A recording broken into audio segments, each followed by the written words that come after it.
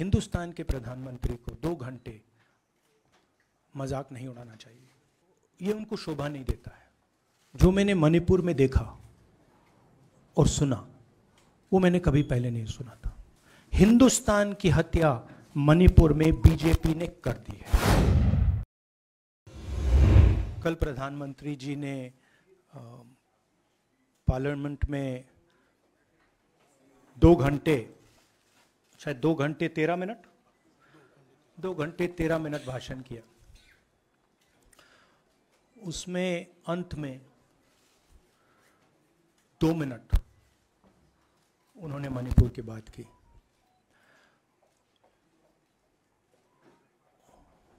मणिपुर में महीनों से आग लगी हुई है। लोग मारे जा रहे हैं। बलात्कार हो रहा है। बच्चों को मारा जा रहा है। और अगर आपने देखा होगा कल तो प्रधानमंत्री हंस हंस के बोल रहे थे। मुस्कुरा रहे थे, जोक्स क्रैक कर रहे थे, हंस रहे थे। ये उनको शोभा नहीं देता है।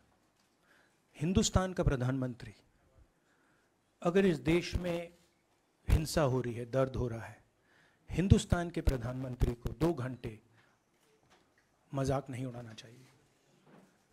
विषय कांग्रेस नहीं था विषय मैं नहीं था विषय मणिपुर है। मणिपुर में क्या हो रहा है और उसको एकदम क्यों नहीं रोका जा रहा है ये विषय है। मैं आपको अपना एक्सपीरियंस देता हूँ जो मैंने शायद अभी तक बोला नहीं शायद पहले बोल देना था। आ, मैं अब तकरीबन 19 साल से राजनीति में हूँ। और मैं हर स्टेट में गया हूँ।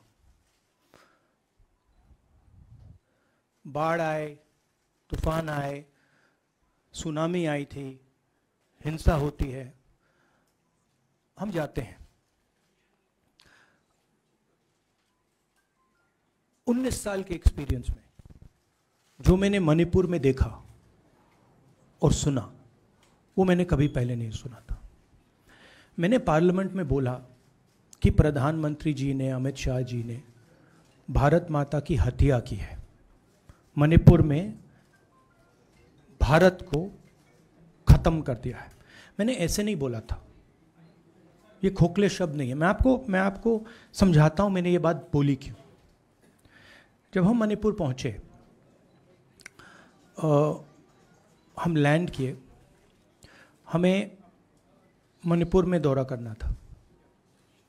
जब हम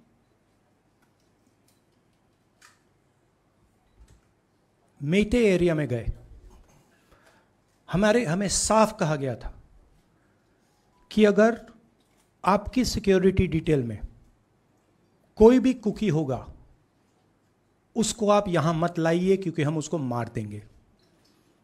और जब हम कुकी के एरिया में गए, हमें कहा गया, अगर कोई मेथी आपकी सिक्योरिटी डिटेल में होगा, उसको आप मत लाइए, उसको हम गोली मार देंगे। हम जब गए, हमें मेथेज को परे करना पड़ा, हमें कुकीज को परे करना पड़ा। मतलब एक स्टेट नहीं है, आज दो स्टेट है। स्टेट की हत्या कर दी गई है और उसको चीर दिया गया है। इसलिए मैंने बोला, हिंदुस्तान की हत्या मणिपुर में बीजेपी ने कर दी है। और जब मैंने कल प्रधानमंत्री को देखा, हँसते हुए, मज़ाक उड़ाते हुए, मैं समझ नहीं पा रहा था कि हिंदुस्तान का प्रधानमंत्री इस प्रकार से कैसे बोल सकता है। प्रधानमंत्री को यह पता नहीं लग रहा है कि हमारे देश में क्या हो रहा है। छोड़िए नहीं जाना चाहते हैं। उसके भी कारण है, शायद मैं बता नहीं सकता हूँ आपको। उसके कारण है, मगर अगर जा नहीं सकते हैं तो मणिपुर के बारे में बोले तो।